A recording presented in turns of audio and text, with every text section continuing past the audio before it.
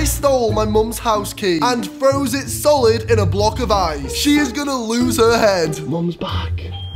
I'm coming to let you in, Mum. Mum, I'm over here. What? Come round here. Can you just open the door and stop messing around? I'm gonna give you the key so you can open it. Better not do anything stupid. What? You're frozen my frigging key, Morgan. What the hell is the point in doing that? Don't you dare shut that f***ing window. Do not shut that window. Stop, Morgan. I'm going to get this key out of here. Two hours later.